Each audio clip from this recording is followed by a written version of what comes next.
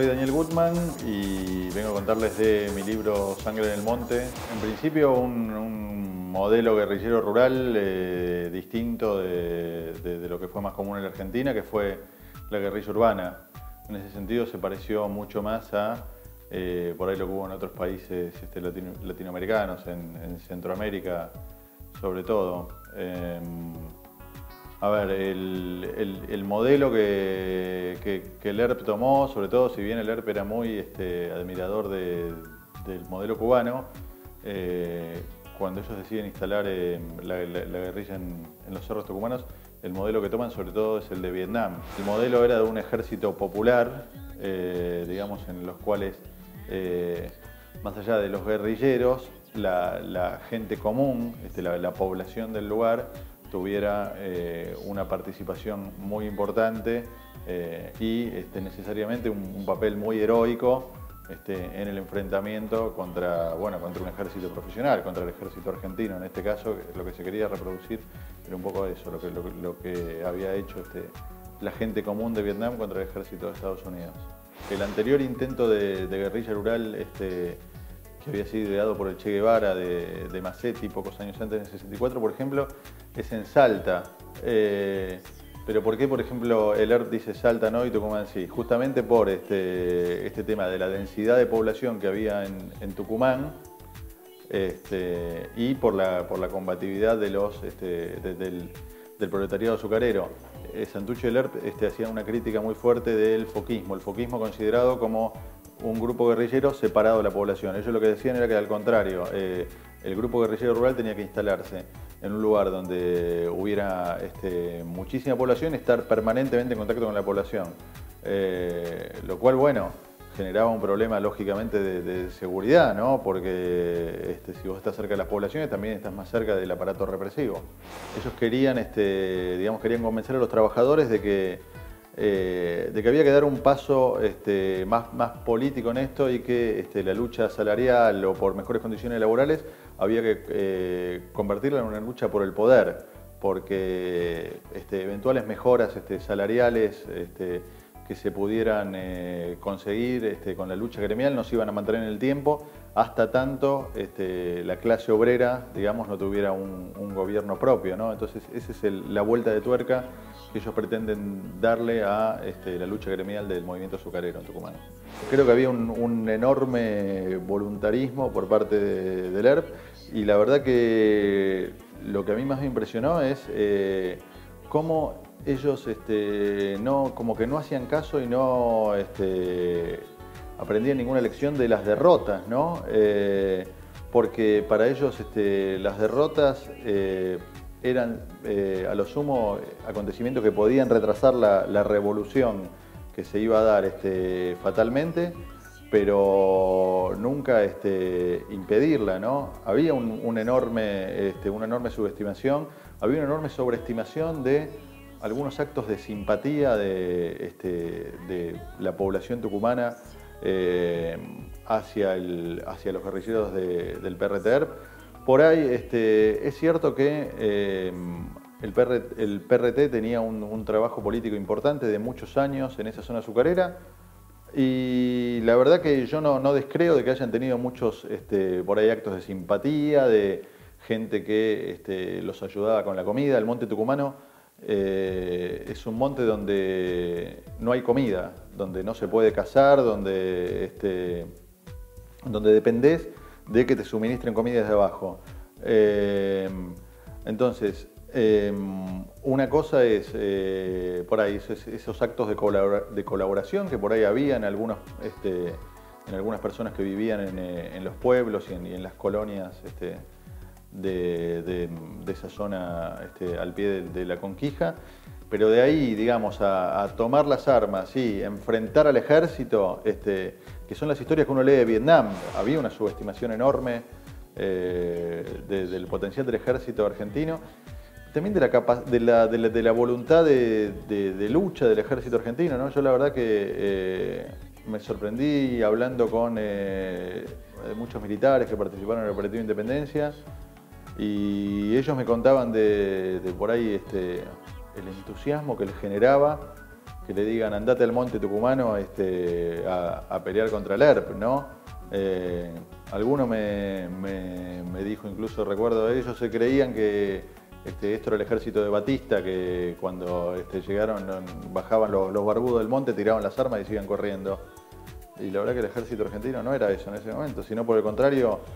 tenía una voluntad y, creo que, había mucho, este, algunas cosas había hecho el, ERP, había atizado mucho el odio del, ejército argentino. Eh, la última parte del 74, el ERP emprende una campaña terrorista este, terriblemente cruel en la que mata indiscriminadamente a unos 10 oficiales del ejército. Los mata de manera muy, muy cobarde ¿no? en, la, en la puerta de sus casas que tiene la culminación en aquel este, famoso asesinato del capitán Viola y, su hijita de tres años en Tucumán, en diciembre del 74. Eh, y todo esto me parece que había generado eh, que en el ejército hubiera muchas ganas de, pelear contra, contra el ERP, ¿no? Y eso ellos indudablemente no lo vieron, no lo vieron por el, por el voluntarismo. ¿no? Tucumán este, fue un, este, un, laboratorio de ensayos para la represión ilegal que después este, se, lanzó en todo el país. La verdad que esto más allá de una frase hecha, cuando uno se pone a investigar lo que descubre es que es una realidad, ¿no? Y de hecho, bueno, Rosendo Fraga, que es uno de los tipos que este, más, más ha escrito sobre la interna militar en aquella época, cuenta en uno de sus libros cómo a fines del 75, cuando la, este, la guerrilla de Monte Tucumano ya estaba prácticamente derrotada y ya estaba tomada la decisión de hacer el golpe militar de marzo del 76, cómo este, muchos oficiales del ejército, incluso de la Fuerza Aérea y de la Marina que no habían estado en Tucumán, viajan a Tucumán a ver cómo se había hecho la, represión en Tucumán, eh, porque bueno, la verdad que todo lo que pasó en la Argentina a partir del golpe del 76, este, con los centros clandestinos de detención y tortura, en Tucumán pasa desde fines del 74 y principios del 75. Eh, y la verdad que otra cosa que, me llamó la atención es que eh, esta, esta, represión, ya te digo, igual a la que, a la que se hizo en todo el país este, después del 76, eh, me da la sensación de que fue mucho más cruel este, en estos pueblos tucumanos, este, muy pobres, muy aislados, donde Incluso había un, este, bueno, un grado de, este, de, analfabetismo alto, mucha ignorancia, eh, donde lógicamente este, los uniformes intimidan más este, que, en, un este, centro urbano de, alto nivel cultural y económico como, como es Buenos Aires, eh, por ejemplo, donde este, bueno, los militares este, secuestraban y torturaban a eh, cualquier persona que tuviera el más mínimo indicio de que podrían haber este, colaborado con la guerrilla. Se ensañaron muchísimo con los almaceneros, por ejemplo, por este tema de, por este tema de los, alimentos. La verdad que, autocrítica eh, vi poca tanto entre los ex guerrilleros eh, como entre los, los militares. me parece que lo que pasa con el operativo Independencia es algo muy particular que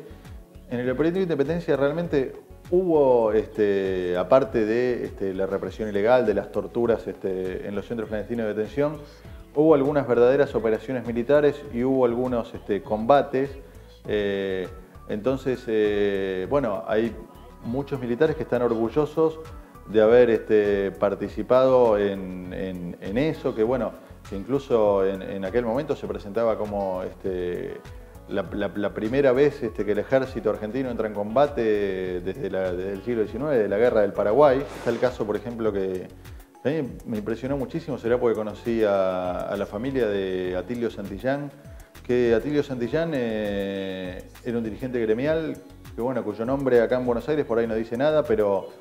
en Tucumán era como una, como una leyenda del movimiento gremial, eh, un tipo muy, muy este, combativo que fue secretario general de la FOTIA, que es el, gremio azucarero, siendo muy joven, creo que de menos de 30 años, y estuvo, este, bueno, estuvo al, frente durante, durante muchísimos años. Em, y él, bueno, en el año 75 estaba alineado con el, con el gobierno de Isabel, eh, apoya el operativo Independencia y eh, lo matan acá en Buenos Aires un día antes del golpe del 76. Eh, y la verdad que no se sabe quién lo mató. Durante mucho tiempo, me decía la familia, creyeron que había sido este, que había sido militar, que había sido un comando militar, que había sido la AAA. Después surgió la, versión de que fue el ERP,